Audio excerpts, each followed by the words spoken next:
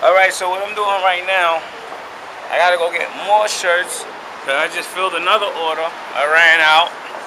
I'm here with my shirt designer. Um, I'm gonna let y'all know my shirt designer JP. Say something to the world. What's up? Is the man responsible for the MTM design, responsible for all the hot hoodies, everything that's coming out of MTM. What we going to do right now, Jake? Pick up shirts and hoodies. And hoodies. A lot of hoodies. No.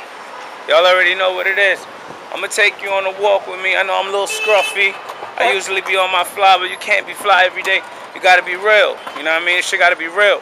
You're gonna see me on the fly. You're gonna see me icy. And you're gonna see me a little scruffy.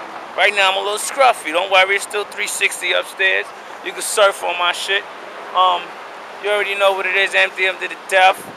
NYC all day. I'm gonna take y'all into the spot. I ain't gonna let you know where I caught my shirts from, cause I get them for a real good price. Can't let too much information out. You already know what it is. Look at the shirt. It's self-explanatory. MTM, the Young Def Jam. Y'all already know. Firstborn, aka Mr. Russel, up some talent. Holla. Peace.